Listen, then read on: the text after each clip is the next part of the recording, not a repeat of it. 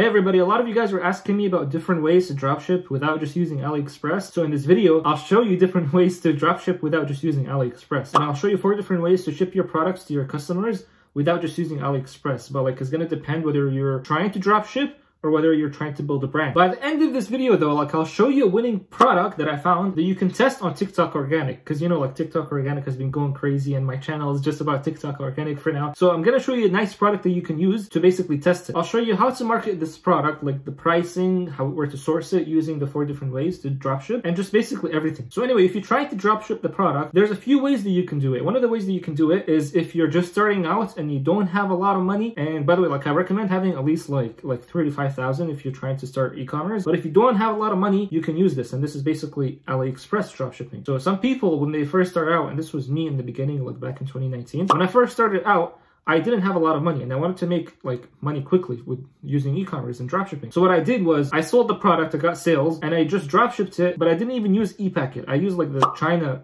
shipping because it was free. And so like, bro, like I was extremely, extremely broke and I don't recommend this. And I had a lot of angry customers at the time. So if you're extremely broke, just like me back in the day, then you can use this. But just so you know, there is a cost to this and there's going to be a lot of angry, angry customers. Your business is not going to be sustainable. And I just don't really recommend it if you have like a little bit of cash. But if you're starting out, you can pick the free shipping, which is going to take like two to three months, bro. Like it's going to take a long time and you're going to have like super angry customers. But it's going to give you a cheaper cost of goods, which you can use to like to somehow pay your credit cards or pay whatever the rent or all that stuff. And when you're using this, I recommend staying on top of the emails, like being really, really on top of the emails because you'll be having a lot of angry, angry customers, right? And so you want to somehow find some excuse as to why the product is taking longer. And in some cases, you might just have to refund the people if they're like extremely, extremely angry. But again, I do not recommend this, but if you're just starting out and you have no cash, maybe you can do this. I don't know. However, if you do have a bit of cash, you can still use ePacket, which you can pay extra if it's not free. But even then, ePacket nowadays is taking a long time to ship, and I don't know why it's been doing that, bro. But like, you can pay for ePacket, and you'll have like a bit of less angry customers because it's not gonna take three months. So you can do that if you want. The other method is still using AliExpress dropshipping, and if you're lucky enough, you can search for the, your product on AliExpress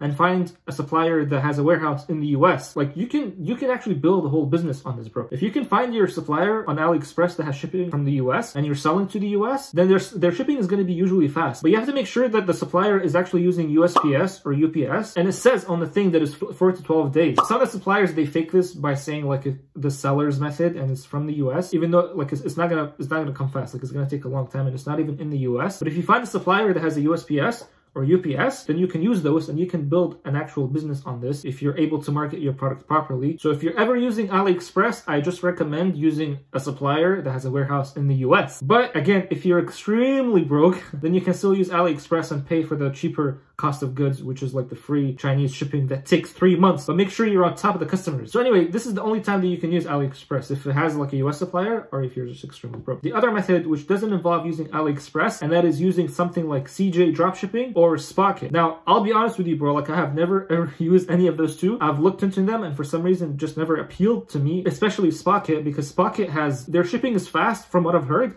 but like it's a bit more expensive. Like there isn't even a lot of products on the on Spocket. But if you can take a product from Spocket that has like a US supplier and build a business around it and then ship it, then yeah, it's gonna be good. Like I've never used it to be honest, but if you want, then whatever. And the other method is CJ dropshipping, and that is basically similar to AliExpress, and it has like a bit of faster shipping, even though it's not still as fast. Like some people are saying that they still dropshipped from CJ dropshipping, and their shipping was still long to the point their customers were not happy with it. Now, I've never used those, bro, so I don't even know how they are, but like I know their options because some of the people I know have used them, and they say it's like it's a bit better than AliExpress. So you can use it, you can test it, because apparently they are slightly better than AliExpress. But the other method that I recommend using is using eBay dropshipping. And now, to be honest, some of the products that I sell, I found them on eBay to be cheaper on eBay than AliExpress and their shipping was even faster too. So I don't know how that even worked. But if you go on eBay, you can actually find suppliers from the US, like they have actual warehouses in the US, and they ship really fast. So for example, this is an eBay supplier that's shipping from the US and apparently like it's three day shipping for free and that's actually that's pretty amazing to be honest. Their cost is just nine dollars so usually people are selling this product for like 25 dollars 30 dollars and you can get it from ebay for nine dollars. That's actually pretty crazy. But you have to look for a few criteria when you're drop shipping from ebay. So the first thing that you should be looking out for is the supplier needs to ship from the us and there's like there's a ton of them. If you search for your product you should be able to find some suppliers that ship directly from the us so that's the first thing. If they don't ship from the us then don't go with them. But when they do ship from the us then that's amazing The other thing you need to be looking out for is the supplier needs to have at least 10 quantity in stock. And if they don't have 10 quantity in stock, then the supplier is not going to be as reliable as one that does have that because it just means that they're running out of stock. But if it says 10, then it means like they probably have more than 10 or just about 10. And if it does say they have 10, then it's a supplier that you can go with because they obviously have a lot of quantity. And the last criteria that you want to make sure to look out for is that it's not a branded product. And so when you're shipping a branded product, the brand can come up to you, bro, and they can tell you, why are you shipping our product? So make sure it's a it's a product that is that does not have a brand on, on eBay. But if you're trying to scale, like if you're getting a lot of orders and you can't just manually manually fulfill everything yourself, make sure you actually contact the supplier on eBay and build a relationship with them. Like you can send them a file of your orders and tell them to ship it. And that way, like you don't have to manually fulfill each order yourself. And you're just building a nice relationship with the supplier that has a warehouse in the US using your product. So that's what I recommend the most if you're just starting out and you have like a little bit of cash and you're trying to get fast shipping just by drop shipping. I recommend using eBay. I don't even recommend AliExpress anymore. A, a lot of people don't even actually talk about using eBay to dropship on YouTube. Like I've only seen a few people that actually talk about this, but consider yourself lucky that you're hearing this now.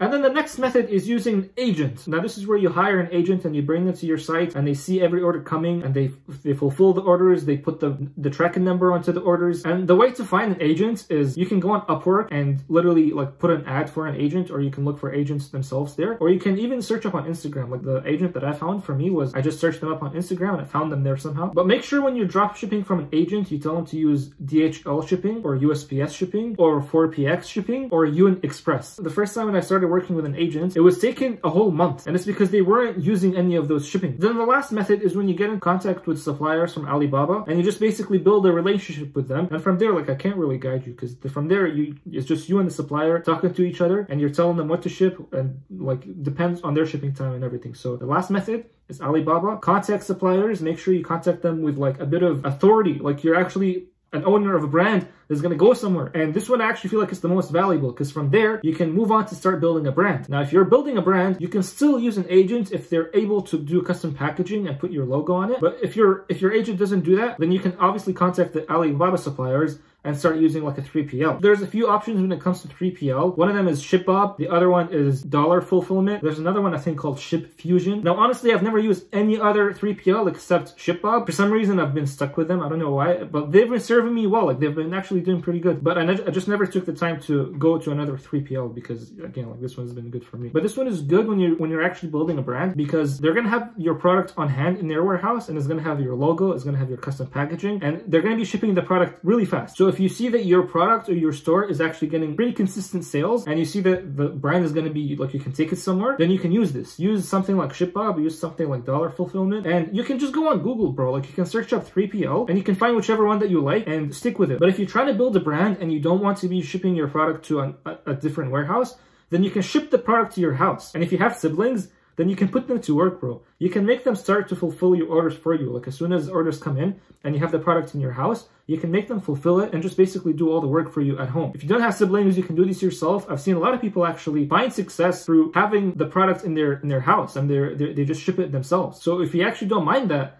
then I recommend that. But anyway, so these are the ways that you can drop ship or you can build a brand without using AliExpress. I don't think I've missed any of them, but let's move on to the winning product. So this winning product, I found it on TikTok. I was just going on like those TikTok, maybe buy it, those Amazon finds, all those things. And I found this product and it's basically a smart notebook. So all it does is just basically you write this, this the stuff that you want to write on it and it gets like uploaded to your phone. And so you have access both on your phone and in person. And it's apparently erasable, like you can just erase with it. You don't need like an eraser. So it's pretty cool. Like the future is actually pretty cool. Now, the person I would be targeting that would buy this product is just basically university students or college students. And so the big idea behind this is that writing things down using your own hand actually retains your memory more. So this is something I found that, that even for me, like when I actually write things down, I start to remember things more. And when I, when I don't write them down, I don't remember them. But the problem that sometimes when I write things down, I lose the paper and I can't find the paper and I'm like, where did my notes go? But this product, it actually uploads your thing to the phone. And most of the time we're always on our phones, so we can actually just review the stuff that we wrote in person on our phone. It actually just it retains your memory a lot. So your big idea is that writing things down by hand retains memory by a lot. Like there are studies on this, and I don't think I, I, I didn't actually go on through the studies, but there are studies that show that writing things down using your hand increases your memory by like 12%, 15%, 80%. I don't know, but you'll find the numbers yourself. And I did find this product on eBay selling for $30 cost of goods. So you can come in and sell it for $45. And if you're using TikTok organic, then you'll basically have a $15 profit margin, which is fine. But if you want to go the AliExpress route, I found it actually for $25. So you can sell it for $45 and you can source it for $25 and you'll have $25, and you'll have $20 profit margin. And if you have an agent, then you can ask your agent to source it for you. And most of the time it'll be also in between like 25 to 30, but you're pricing it for 44.95. And the big idea is that writing things down by hand retains the memory more. So this is the product for you. You should test it. You should make the content for it on TikTok. I'm not going to guide you through the content because that's on you, bro. But make sure you watch my other videos that show you how to make viral content. And also as one last thing for the offer, you can add like a PDF that shows you seven ways that help you retain memory even more. And I just think this is actually a good offer and one of you guys should test it because it seems like a really, really good idea for me at least. So anyway, I hope this helped. I hope you start using one of the ways to dropship the product or to make a brand. And I hope one of you guys is going to take this product and make it a winner. Make sure you actually like message me if you actually do make this a winner and give me a testimonial, bro. So anyway, take care.